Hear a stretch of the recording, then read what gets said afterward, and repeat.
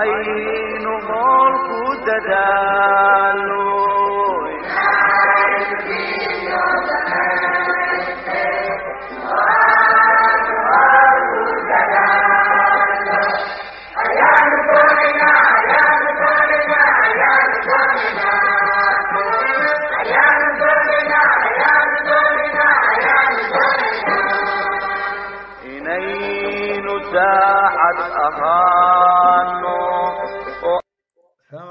waraxmatullaahi tacaala wabarakaatu habeen wanaagsan meel walba aad dunida ka joogtaan.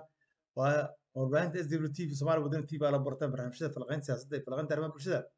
Caawa toddobiyo tobanka bishii julaay ay tahay labada kun labaatan saddexda. Waxaynu ku soo qaadan doonaa alab sanado bartay barnaamijkeena falaqaynta arrimaha bulshada arrimaha siyaasadda. Mawduuc ku saabsan haraynta la hareeyey ama jidgooyintii loo dhigay magaalada baydhabo oo ahayd markii ugu horreysay ee magaalada baydhabo cadow cadowga soomaaliya oo jidgooyo u dhigto islamarkaasina asbaaro u dhigto magaalada in la gudoomi dhibaato badan laga soo sheegay. Balse waxaan jeclaan lahay inaan caawa warbixinta aan sa wada qaybsano arrintaas mawduucaasna aan ka baaraandugno warbixinta gudaha naga soo gaaraysa ama warbixinta gudaha warbaahinta gudaha ay soo saarayaan runtii wax la jeclaysan kara wax dheg u maqli kara haddaba halkaad nagala socotaan waa warbaahinta s w t v somalia wadani t v ala bartaan barnaamijyada faraqaynta siyaasadda iyo faraqaynta arrimaha bulshada. Ku xiro s w t v oo marwalba la qayb wadaag asxaabtaada haddaba caawa waxaynu eegeynaa marka warbixin xasaasiya oo magaalada baydhabo laga soo gudbiyey warbixintaas haddaan dhegeysto qalbiyada dadka soomaaliya taabanaysa warbixinta balaan dhegeysan kadib waa soo noqon doona insha allah annagoo runtii runtii aad iyo aad looga baahan yahay inaan dalkii dadka u naxno dadka soomaaliya dhibaatada ku taagan tahana aan garab istaagno hay'adaha dowladda qeybyada kala duwan ay garab istaagaan sidii arrintan cadowga looga guuleystana waa in la helaa bal dhegeys wanaagsan warbixintan dhegeys wanaagsan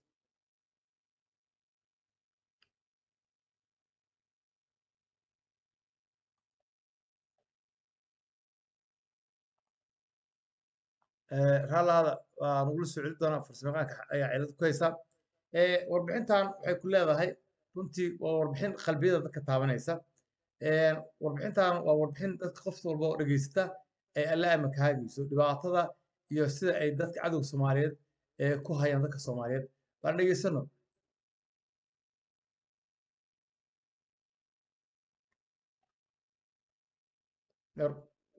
Runtii runtii waa arrin laga naxo warbixinta si aad warbixinta ka soo yeeraysa haddaad dhegeysto runtii way sida laga warramayo iyo xaaladda dhabta ee maanta haysta dadka reer baydhabo runtii waxaa waa qof walba damiirkiisu nool yahay waa ay taabanaysa nabadda wadael dhabaantii meel kastoo aad naga daawanaysaan ku soo dhawaada warbixintan waxaynu ku eegi doonaa. Wararkii ugu dambeeyey faahfaahinna laga helayo shabaab oo deegaanka daynuuna ay ku gubay dameero siday raashin iyo caano islamarkaana ku sii jeeday magaalada baydhabo ee xarunta gobolka baay oo go-doon ay geliyeen kooxdaasi. Kooxda al-shabaab ayaa duleedka deegaanka daynuunay ee gobolka baay waxay ku gubeen ku dhowaad toban gaari dameer oo siday raashin iyo caano kuwa uu ku sii jeeday magaalada baydhabo oo go-doon ay geliyeen kooxda. Dhammaan maciishada noocyadeeda kala duwanna laga dareemayo sarakacad xoogan gawaari dameeradan ay gubeen kooxda ayaa waxa ay ka baxeen sida xogaha lagu helayo.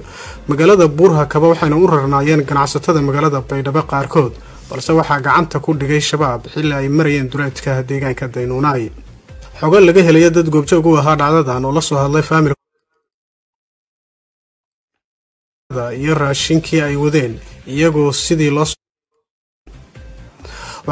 magaalada buurhakaba waxayna u rarnaayeen ganacsatada magaalada baydhabo qaarkood balse waxaa gacanta ku dhigay shabaab xilli ay marayeen duleedka deegaanka daynuunay xogo laga helaya dad goobjoog u ahaa dhacdadan oo la soo hadlay faamilkooda waxa ay sheegayaan shabaab dab ay qabadsiiyeen dameerada iyo raashinkii ay wadeen iyagoo sidii loo soo qabtay u raran waxaa xogo kale oo la helaya ay sheegayaan in dameerada qaarkood iyagoo oo ololaya ay nafta ka dhacday waxaana arrintaasi naxariis darrada ah aada uga xumaaday dadka deegaanka oo aan awoodin inay qaadaan wax tallaabo ah dad badan ayaa isweydiinaya waxa ay galabsadeen xayawaanadaas raraan ee nolosha lagu gubay. Taasina waxay caddeyn u tahay arxandarrada kooxda aan u naxayn dad iyo duunyo waxay gacanta ku dhigaan. Sidoo kale deegaanka daynuunay waxaa ku xaniban gaadiid fara badan oo ka tegay magaalada muqdisho kuwaas oo sida shaxnado kala duwan kuna sii jeeda gobollada baay iyo bakool.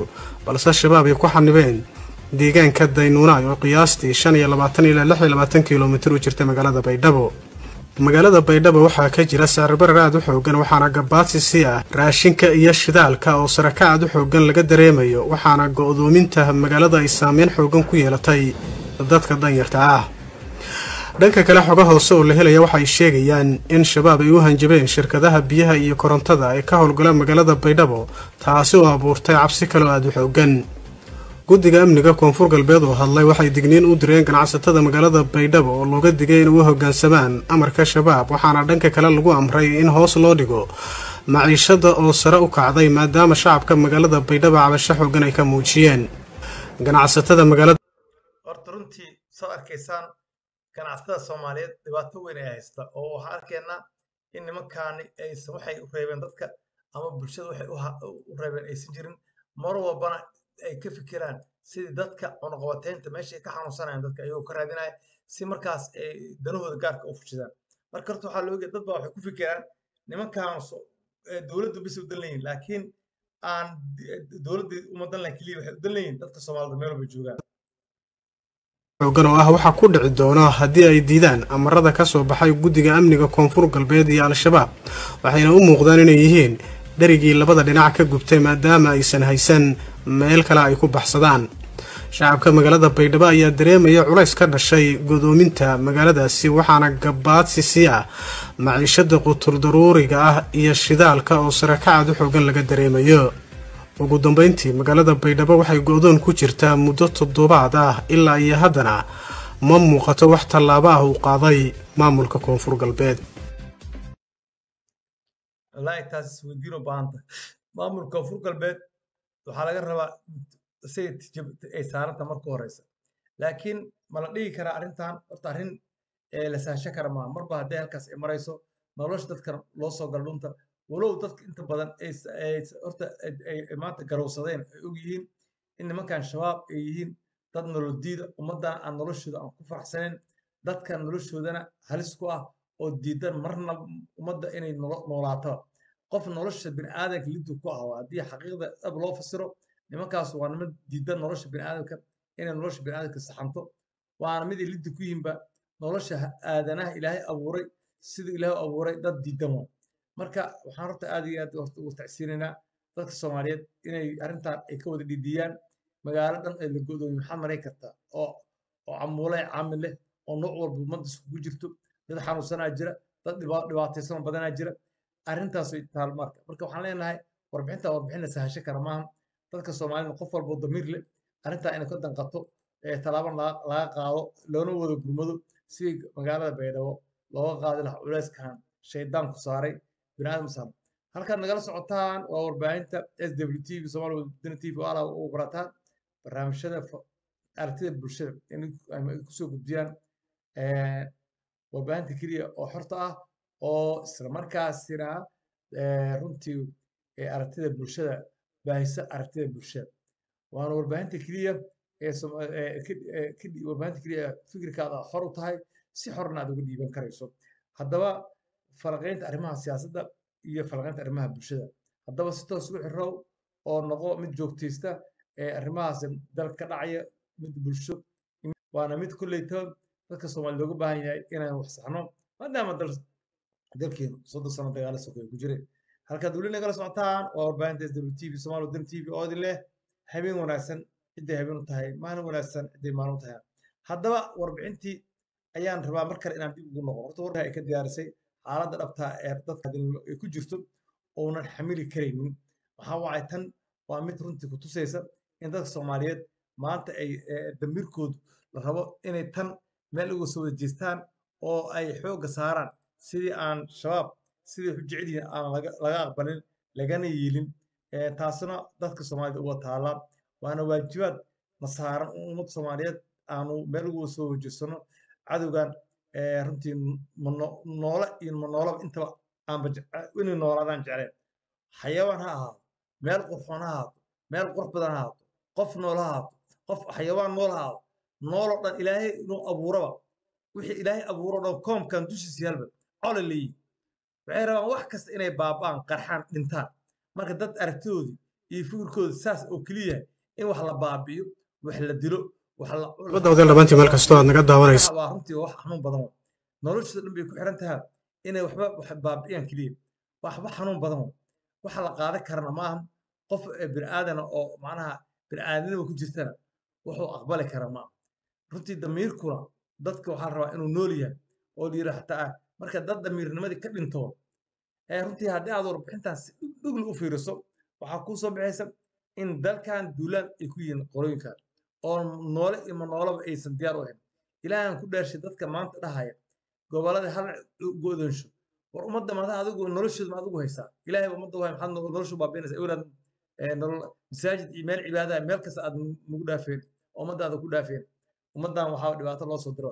Bal markaan aan warbixintan runtii warbixin sahlan maahan warbixintan waxaan runtii aan leenahay inaan dadku ay horeer marta maaha warbixinta warbixin dhaba waaye waana wax jira. Marka waxaan leenahay dadka soomaaliyeed inay arrintan aysan sahashan oo ay runtii damiir- damiirkooda u shaqeeyo isla markaasina ay runtii intay ka qaban karaan wax ka qabtaan. Waa mahadsantihiin bal dhegeysta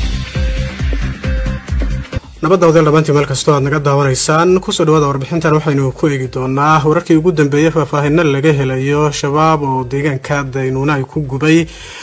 Dameero siday raashinaya caano islamarkaana ku sii jeeday magaalada baydhabo ee xarunta gobolka baay oo go-doon ay geliyeen kooxdaasi kooxda al-shabaab ayaa duleedka deegaanka daynuunay ee gobolka baay waxay ku gubeen ku dhowaad toban gaari dameer oo siday raashinaya caano kuwa uu ku sii jeeday magaalada baydhabo oo go-doon ay geliyeen kooxda. Dhammaan maciishada noocyadeeda kala duwanna laga dareemayo sarakacad xoogan. Gawaari dameeradan ay gubeen kooxda ayaa waxa ay ka baxeen sida xogaha lagu helayo. Magaalada buurhakaba waxayna u rarnaayeen ganacsatada magaalada baydhabo qaarkood balse waxaa gacanta ku dhigay shabaab xilli ay marayeen duleedka deegaanka daynuunay xogo laga helaya dad goobjoog u ahaa dhacdadan oo la soo hadlay faamilkooda waxa ay sheegayaan shabaab dab ay qabadsiiyeen dameerada iyo raashinkii ay wadeen iyagoo sidii loo soo qabtay u raran waxaa xogo kale oo la helaya ay sheegayaan in dameerada qaarkood iyagoo oo ololaya ay nafta ka dhacday waxaana arrintaasi naxariis darrada ah aada uga xumaaday dadka deegaanka oo aan awoodin inay qaadaan wax tallaabo ah. Dad badan ayaa isweydiinaya waxa ay galabsadeen xayawaanadaas raran ee nolosha lagu gubay taasina waxay caddeyn u tahay arxandarrada kooxda aan u naxayn dad iyo duunyo waxay gacanta ku dhigaan. Sidoo kale deegaanka daynuunay waxaa ku xaniban gaadiid fara badan oo ka tegay magaalada muqdisho kuwaas oo sida shaxnado kala duwan kuna sii jeeda gobollada baay iyo bakool balse shabaab ay ku xanibeen. Deegaanka daynuunay oo qiyaastii shan iyo labaatan ilaa lix iyo labaatan kilomitir u jirta magaalada baydhabo magaalada baydhabo waxaa ka jira sicirbarar aad u xoogan waxaana gabaadsi si ah raashinka iyo shidaalka oo saraka aad u xoogan laga dareemayo waxaana go-doominta magaalada ay saameyn xoogan ku yeelatay dadka danyarta ah. Dhanka kale xogo hoose oo la helaya waxay sheegayaan in shabaab ay u hanjabeen shirkadaha biyaha iyo korontada ee ka howlgala magaalada baydhabo taasi oo abuurtay cabsi kaloo aad u xoogan guddiga amniga koonfur galbeed oo hadlay waxay digniin u direen ganacsatada magaalada baydhabo oo looga digay inay u hoggaansamaan amarka shabaab waxaana dhanka kale lagu amray in hoos loo dhigo maciishada oo sare u kacday maadaama shacabka magaalada baydhabo cabasho xoogan ay ka muujiyeen. Ganacsatada magaalada baydhabo ayaa wajahaya cabsi xoogan oo ah waxa ku dhici doono haddii ay diidaan amarada ka soo baxay guddiga amniga koonfur galbeed iyo al-shabaab waxayna u muuqdaan inay yihiin dherigii labada dhinac ka gubtay maadaama aysan haysan meel kale ay ku baxsadaan. Shacabka magaalada baydhabo ayaa dareemaya culays ka dhashay godoominta magaaladaasi waxaana gabaadsi sii ah maciishada quturdaruuriga ah iyo shidaalka oo sarakacad u xoogan laga dareemayo.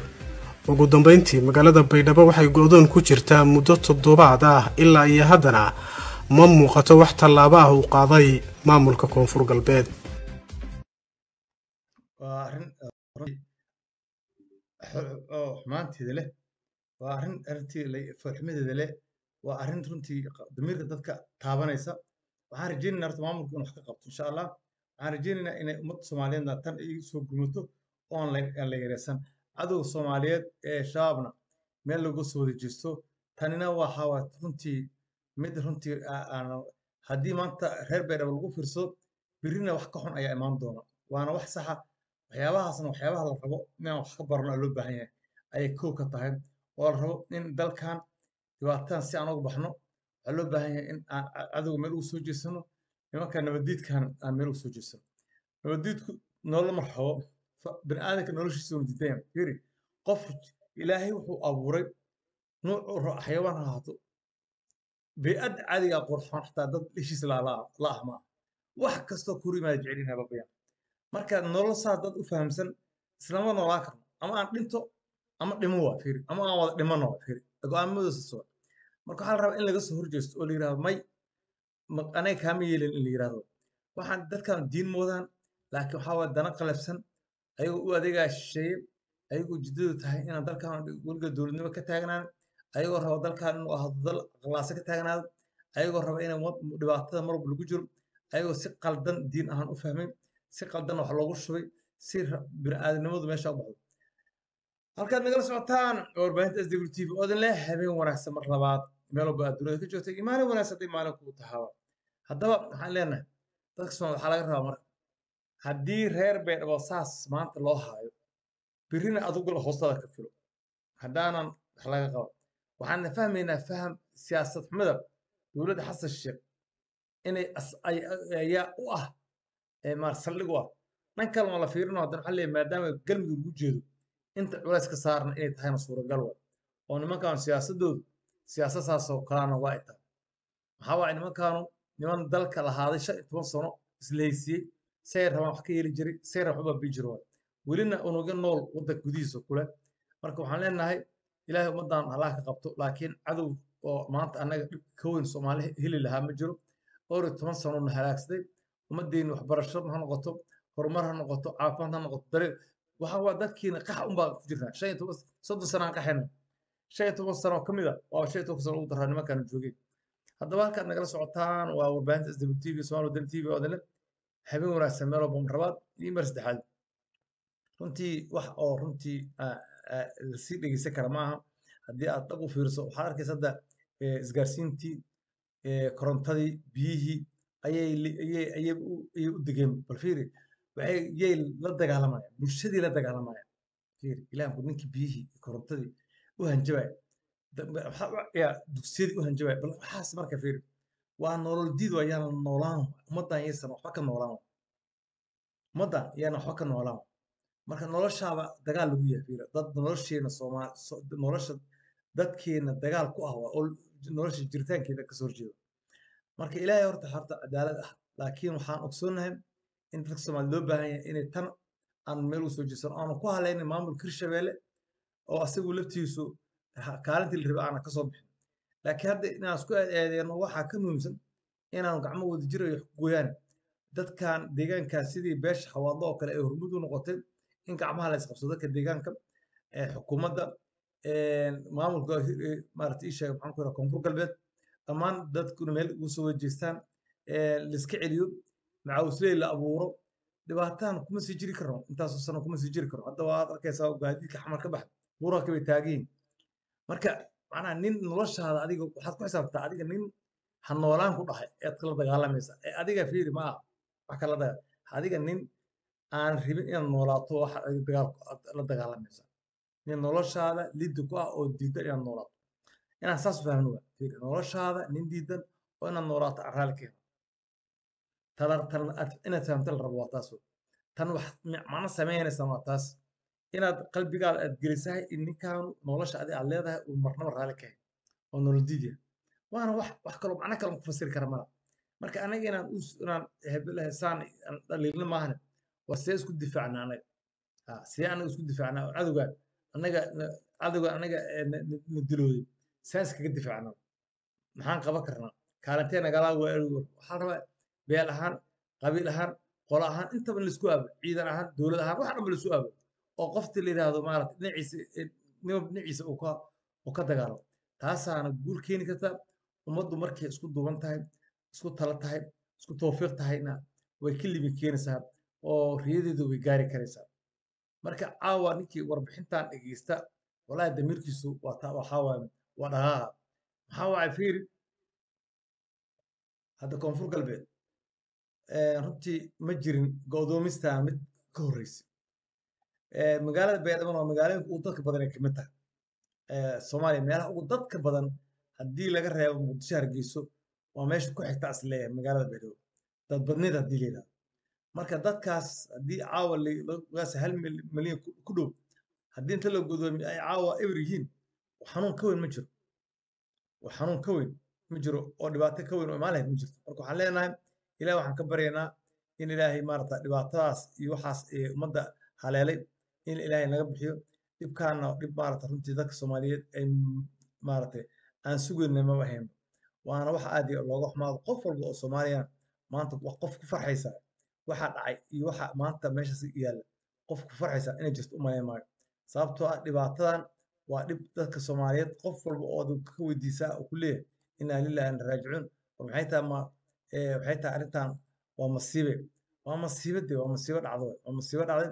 Marka waxaan leenahay arrintan in runtii aan ugu meel ugu soo wajeesano oo dadka soomaaliya meel ugu soo wajeestaan ayaa waajiba ilaahay waxaan ka baryaynaa cadowgan cadow annaga nadilooday waa xalkiisan ummad soomaaliyeed mar walba waxa waa lagu fikiraa laakiin xalalkiisa ilaa dalamid waxaan leenahay bal ugu dambeyntii bal markaan aan ku noqono warbixintii laga diyaariyey runtii aan mar labaad aan ku noqono warbixintan runtii warbixintu warbixin caloosha taabanayso bal aan dhegeysano insha allah ku soo noqonayna tan ku soo dhawaada warbixintan waxaynu ku eegi doonaa wararkii ugu dambeeyey faahfaahinna laga helayo shabaab oo deegaanka daynuuna ay ku gubay dameero siday raashinaya caano islamarkaana ku sii jeeday magaalada baydhabo ee xarunta gobolka baay oo go-doon ay geliyeen kooxdaasi kooxda al-shabaab ayaa duleedka deegaanka daynuunay ee gobolka baay waxay ku gubeen ku dhowaad toban gaari dameer oo siday raashinaya caano kuwa oo ku sii jeeday magaalada buurha kaba waxayna u rarnaayeen ganacsatada magaalada baydhabo qaarkood balse waxaa gacanta ku dhigay shabaab xilli ay marayeen duleedka deegaanka daynuunay xogo laga helaya dad goobjoog u ahaa dhacda ilaahan kuu dhaashay xoolahaas dadkii maanta inta qabtay gubay. Dadan oo la soo hadlay faamirkooda waxa ay sheegayaan shabaab dab ay qabadsiiyeen dameerada iyo raashinkii ay ilaahay kuu dhaashay xoolahi oo bahayinka ay ciqaabayeen dad aqligoodu saas yahay ma nololay rabaan. Waxaa xogo kale oo la helaya ay sheegayaan in dameerada qaarkood iyaga oo olalaya ay nafta ka dhacday waxaana arrintaasi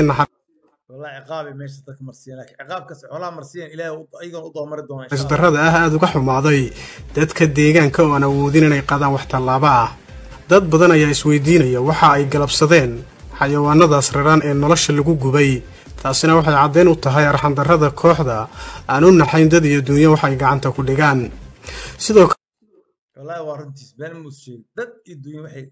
deegaanka daynuunay waxaa ku xaniban gaadiid fara badan oo ka tegay magaalada muqdisho kuwaas oo sida shixnado kala duwan kuna sii jeeda gobollada baay iyo bakool. Balse shabaab ay ku xanibeen deegaanka daynuunay oo qiyaastii shan iyo labaatan ilaa lix iyo labaatan kilomitir u jirta magaalada baydhabo magaalada baydhabo waxaa ka jira sicirbarar aad u xoogan waxaana gabaadsi si ah raashinka iyo shidaalka oo saraka aad u xoogan laga dareemayo waxaana go-doominta magaalada ay saameyn xoogan ku yeelatay dadka danyarta ah. Dhanka kale xoga hoose oo la helaya waxay sheegayaan in shabaab ay u hanjabeen shirkadaha biyaha iyo korontada ay ka howlgalaan. Biyaha iyo korontada haddii loo hanjabay maxaa sugaysaa marka? Dadkan waa inay dagaalamayaan fiir dadkan iska celiyaan cadowgaaba magaalada baydhabo taasi oo abuurtay cabsi kale oo aad u xoogan guddiga amniga koonfur galbeed oo hadlay waxay digniin u direen ganacsatada magaalada baydhabo oo looga digay inay u hoggaansamaan amarka shabaab waxaana dhanka kale lagu amray in hoos loo dhigo maciishada oo sare u kacday maadaama shacabka magaalada baydhabo cabasho xoogan ay ka muujiyeen. Ganacsatada magaalada baydhabo ayaa wajahaya cabsi xoogan oo ah waxa ku dhici doono haddii ay diidaan amarada ka soo baxay guddiga amniga koonfur galbeed iyo al-shabaab waxayna u muuqdaan inay yihiin dherigii labada dhinac ka gubtay maadaama aysan haysan meel kale ay ku baxsadaan. Shacabka magaalada baydhabo ayaa dareemaya culays ka dhashay godoominta magaaladaasi waxaana gabaadsi si ah maciishada quturdaruuriga ah iyo shidaalka oo sarakacad u xoogan laga dareemayo. Ugu dambeyntii magaalada baydhabo waxay go-doon ku jirtaa muddo toddobaad ah ilaa iyo haddana ma muuqato wax tallaabo ah uu qaaday maamulka koonfur galbeed ilaaha jiro jiriila ilaaha ayaa jira oo jiriila laakiin waa rajaxumo runtii waana mid aad iyo aad waa siyaasad xumada xasan sheekh tanina haddaanan ee ummadda soomaaliyeed runtii inay ka dhiidiyaan aanan koonfur galbeed loogu simin shacabka soomaaliyeed meel walba dunida ka joogaan arrintan wax laga qabto ayaa muhiim ah. Taasaan qiimo samaynaysa waxaan leenahay wax la yeeli karaana ma aha runtii wax damiirka dadka soomaaliyeed taabanaya waaye. Mana aha waxa qalbi fiyo iyo maskax fiyo ee aqbali karto in maanta aan marayno in wax kasta noloshii dhuunta ay noo ay noo galaan oo noloshiba ay ciriiri naga geliyaan. Waxa la cun lahaa wixii la cabi lahaa. Waad biyihii iyo korontadii ayayba u soo jeesteen taasaaba iyadan dhibaato kalaa marka dadkan waa dad nolosha dadka loo soo diray inay nolosha dadka baabi'iyaan. Waa nolodiid waa nabadiid waa jiritaan diid waa ummad inay noolaataba dagaal laa ummadda ilaahay leeyahy fiiri waa ninaan ku dhihin aan noolaado aan noloshaada ogolayn inuu noolaadan asna rabin. Noloshaadan ogolayn inaad noolaatana aan rabin. War dhibaataan oo kale xaggee lagu arka marka waxa waaye saas dee tahay waa la gooya waa kansar. Kansara waa in la gooyaa marka. Waxa waaye wax kale oo xal kale ma laha. Kii maanta hoosta gashtana oo ase wax ka qaban karaa wax ka qabo waay asay aad maalinka dambe sabsanaysaa asay maaragtay dirays marka waxaan leenahay ummaddan waa dhibaato loo soo diray. Nin walba oo maanta soomaaliya waxaa laga rabaa inuu cadowgaas soomaaliyeed u fahmo in cadow jiritaanka dadka soomaaliyeed aan ogolayn ee, dadkuna ay fahmaan in dadka soomaaliyeed dad diidan soomaalinimada ee, diidan ee, dadkan inay nolol helaan la dagaashan ummadda inay qota u fahmaan. Oo wa- waxaa la rabaa runtii dareenka dadku inay kordho oo la yidhaahdo war dadkan waa dad nabadda iyo jiritaanka ummadda ilaahay abuuray la dagaashan diidan inay bini'aadamku noolaado. Qaabkaas in loola dhaqmo oo loola xisaabtamo ayaa waajibaad ku yahay. Halkaad nagala socotaan waa warbaahinta s w t v somaali wadani t v oo ah warbaahinta keliya xorta ee arrimaha bulshada soo gudbisa arrimaha bulshada iyo arrimaha dalka iyo dadka. Taasoo is dalka iyo dadka waxa keliya oo anfacaya waxay tahay baraarujinta iyo ismarkaasina fikradooda oo ay xor u soo gudbiyaan kaasoo ay ku cabirayaan aragtida ay isleeyihiin dalka iyo dadka iyada ku sixi kartaa haddaba haddii aad hayso fikir xalaala ama talay tusaale haddaa hayso nagala soo xiriir Whats- Whats- whatsappka halka hoose ku qoran si fariimahaada qoraal cod inta baad noo soo duubi kartaa ama aad is leedahay haddii aad hayso waxaad leedahay bulshada soomaaliyeed in lagala hadlo ama in lala soo gudbiyo ayay u baahan tahay. Waan kugu soo dhaweynaynaa talooyinka aad haysiin iyo talooyinka inta badan waxaan ku shaqeynaa aragtida bulshada iyo waxyaabaha ay soo gudbiyaan iyo talooyinka ay ka- dhiibtaan marka walaala haddii aad hayso talo haddii aad hayso qorshe fiican oo ku saabsan inaynu runtii soo gudbino oo ku saabsan mawduucaas leedahay bulshada soomaali waxa waxaa wanaagsan in lagala hadlo ama loo soo gudbiyo waad nala qaybsan kartaa waana warbaahinta keliya oo xuquuqda dadka soomaaliyeed ee intaan hadli karin inay la hadasho garab qabato codadkooda in kor loo qaado warbaahinta keliya oo ka shaqaysan annagu wax shuruuda kuma xiro shacabka soomaaliyeed dhammaantood meel walba ay ka joogaan dunida ra'yigooda aragtidooda meel walba ay soomaaliya ka joogaan ama soomaaliya ama deegaanada kale oo ay soomaalidu ku dhaqan tahay dhammaantiin waxaan leenahay waa warbaahintii adigu aad leedihiin waana warbaahin u adeegaysa si soomaalinimo leh si islaamnimo leh annagoo aan wax xujo ah ku xirin laakiin ay tahay keliya in waxa la soo gudbinaya qoftaasi ay soo gudbinayso ay tahay xaqiiq jirta ama dhabaho jira. Ma anagu inta badan siyaasaddeenu kuma taxalluqdo ee, meel gobol ama degmo gaara laakiin waxa ay tahay dhammaan dadka soomaaliyeed meel walba ay joogaan dhibaatooyinka dhabta ah ay haysta inaanu soo gudbino wixii ciddii ku shaqolana ay wax ka qabato waxaa waaye wixii haddaan la ogeyn waxaa waa dhibku waa jariya waana bulshana waxay dhib ka bixi kartaa markay dhibkeeda sheegato wixii u danana ay ayada carabaabdo waxaan loo baahan yahay bulsho walba inay dhibka haysta ay iyadu ka hadasho soona gudbiso. Markaasna waxaa waaye mas'uuliyiinta u xil saaran waxaa waajib ku ah inay markaas wax ka qabtaan. Suuragalna waxaa in markaas wax laga qabto. Haddaba warbaahinta s w t v waa warbaahintiina waa warbaahinta adinka danihiina u adeegaysa. Marka ku xiro marwalba oo la qaybsa asxaabtaada janalka youtube-ka aan ku leenahay iyo iyo janalka aan ku leenahay pagekeenna iyo iyo pageka iyo iyo iyo iyo abka aynu ku leenahay tiktok ama baraha bulshada. Iyo mm, dhammaan waxaan ku leeyahay haddaba ku xirow oo asxaabtaada la wadaag nalala wadaag waxyaabaha is leedahay dalka dadka ay ixtiri karaan si aynu mawduucan ugu diyaarno ama barnaamij aan dadka soomaaliyed u bandhigno si qayb uga qaataan halkasi caawa barnaamijkeen ku soo googeen waanu axmed idaacaddaa wadan dhahay habeenka haddii wacnadu maalintu haydin wacnaa maalin ku tahay